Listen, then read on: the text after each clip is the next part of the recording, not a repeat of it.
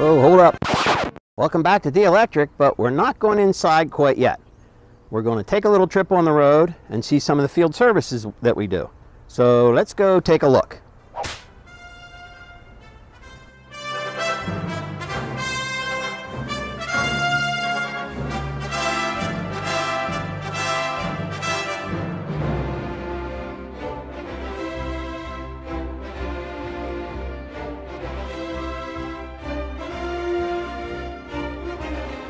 Okay, so we're at a customer's facility today, and what we're going to be looking at is, is a laser alignment. So originally this job was to change out a motor. Customer needed a new motor on this, and then they decided while we were here, can we change the uh, seal out in the pump? So we took the old motor off, we took the pump out of place, took it back to the shop, we put in a new seal, a new wear ring, and new gaskets, have now installed the pump, put in the new motor, put the coupling on, and at this point, we're ready to do a laser alignment. Uh, and that's really what the job is that we're looking at today.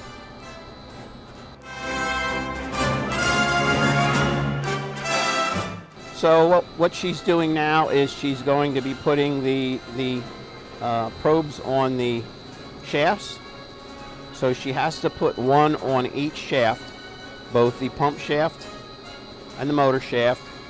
And as you can see, when she put that chain around there, a chain will go around uh, multiple sizes of shafts.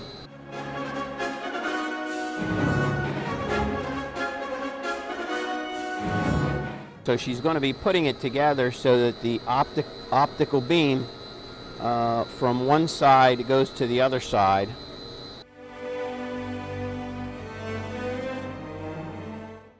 She has to tell her piece of equipment here what the dimension is from one to the next.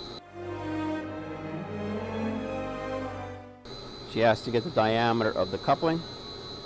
Uh, all this all this information has to be input into the uh, into the tool so she can get a proper alignment. She has to put in uh, footprint dimensions so the machine knows where the bolts are, both front and back and side to side. That's how it determines where you're going to put uh, where you're going to put new shims or which way you move the uh, which way you move the unit.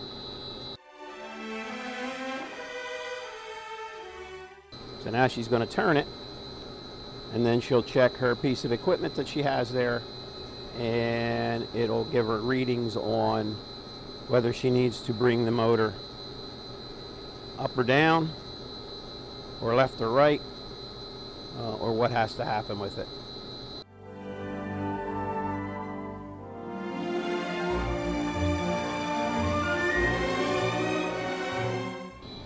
Here it's saying in the front it wants to go up 52 thousandths, and in the back it wants to go up 99.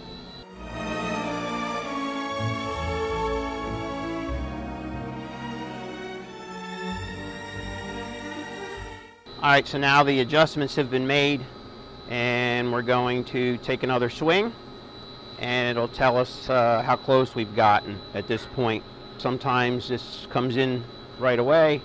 Uh, sometimes you have to make two or three or four swings uh, to get it fine-tuned uh, to where it's, it's uh, within spec.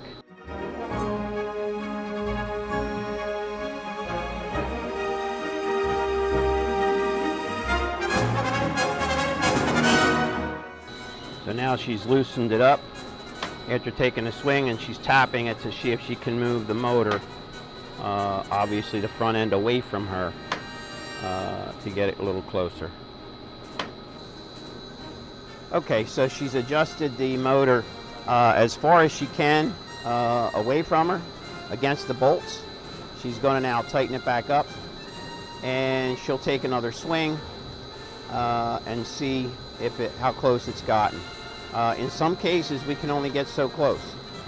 without making modifications to the base or some other modifications. All right.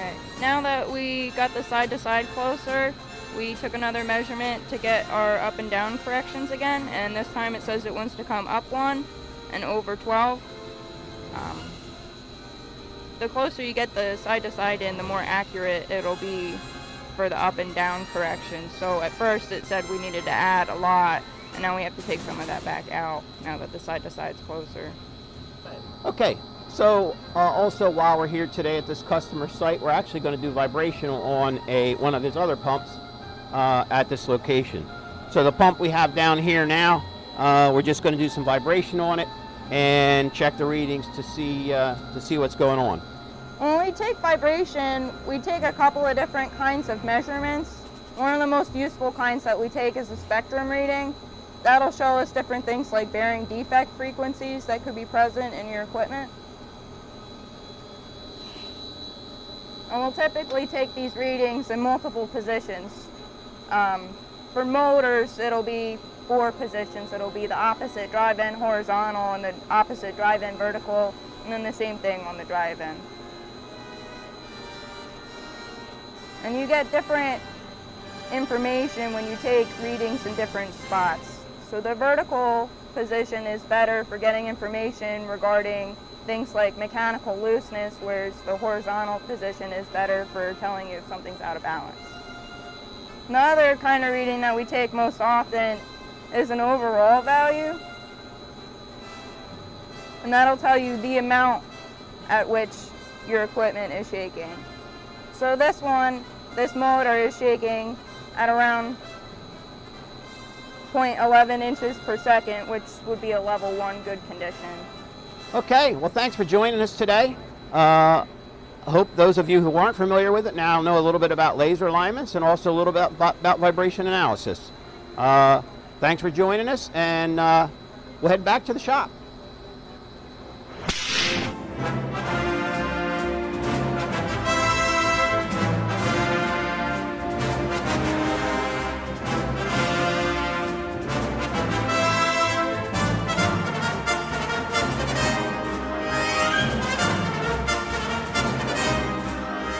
Okay, so we're back at the shop now, and what we're looking at here is a power roller. Uh, some of you know what they are, um, but I've had a lot of questions about these from some people, so I just wanted to go over one since we had one here. And what a power roller is, is the motor, as you can see there's a stator right here, that stator attaches to the shaft and it goes inside of the roll. And then once it's put together, you can see that there are uh, gears inside of the end, along with gears that go in this little gearbox assembly. And we, when we put this all together and we put power to the unit, the motor turns the rotor and the outside of this spins so that the shaft itself stays stationary and the outside of the roll spins. Used a lot on conveyors and that type of stuff. So uh, glad we have one here this week that you could, uh, could get a look at. Okay, so what we're looking at here is a, an Alton, that's the brand name, an Alton gearbox. Um, so, so far we've taken the, uh, the top off of it to look at the gears. We've pulled the coupling off. Um, the gears have some wear on them, so we've taken some photos of the gears. Um, we're going to send that to the customer uh, and have him approve whether he wants to reuse these or not. There's nothing broken, it's just some wear. However, we did find a crack in the shaft, in the output shaft. There's a large crack uh, right across the shaft here. Uh, so that output shaft uh, is going to have to be replaced or uh, probably, this is a very old gearbox, uh, it's probably something we would have to make if we get the approval to do this. So uh, obviously not even taken apart yet, very preliminary stages here on this one, um, but it's a, again, a, a large gearbox in for repair. Hey, thanks for stopping by D Electric to see what's going on this week. Next up, ready.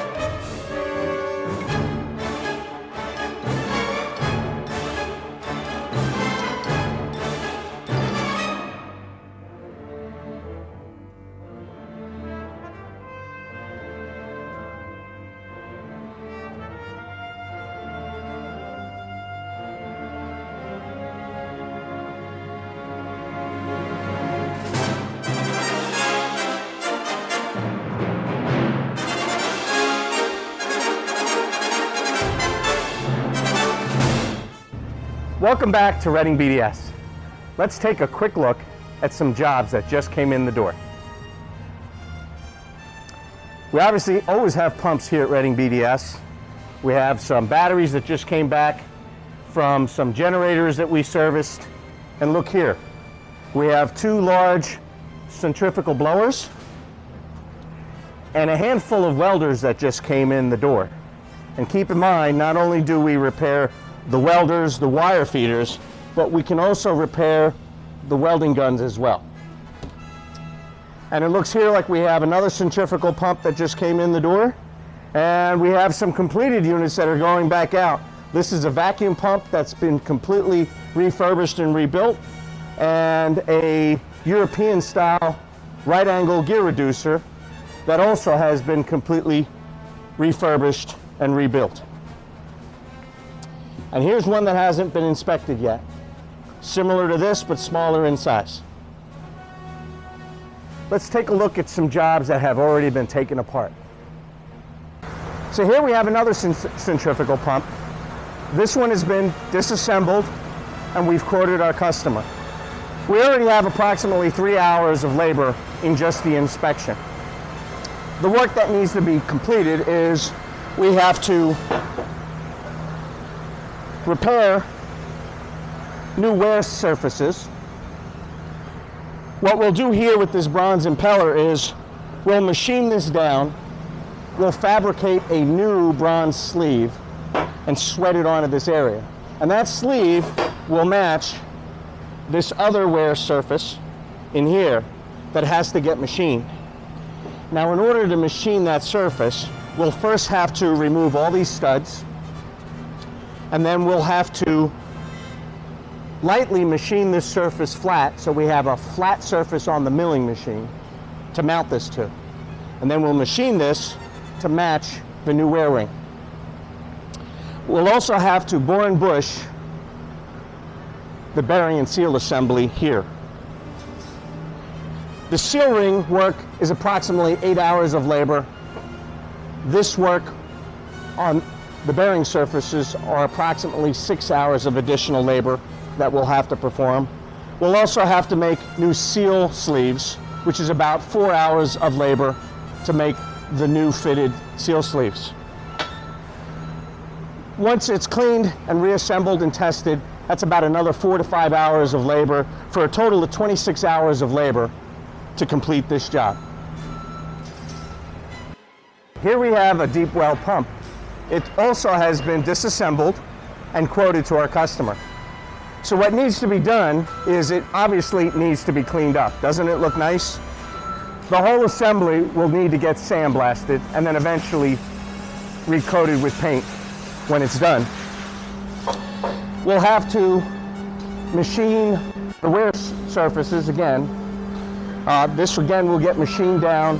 A new sleeve will be made to match the mating surface here. This will all get machined down.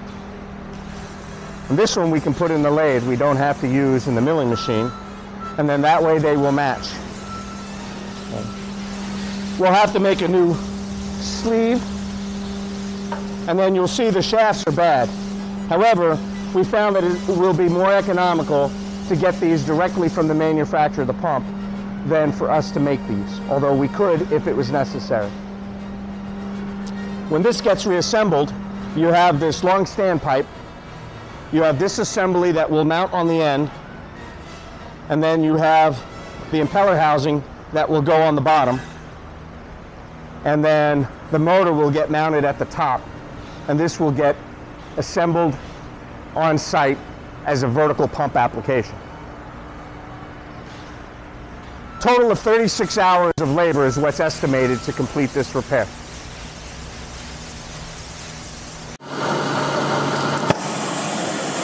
Here we have our machinist spray welding an electric motor shaft. He's adding metallized powder with heat to fill in all the worn surfaces of the shaft. This could take from a few seconds to several minutes depending on the type of work that needs to be done.